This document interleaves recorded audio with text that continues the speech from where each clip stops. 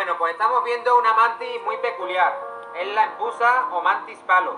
Se caracterizan por tener ese pequeño penacho o cresta sobre la cabeza. ¿Vale? También eh, su defensa se, se basa en la mimetización. Vemos que tiene el mismo color que el tronco. Y como curiosidad es que los insectos pues mudan la piel, parecido a la serpiente. Van creciendo y van mudando la piel porque ya no caben en ella.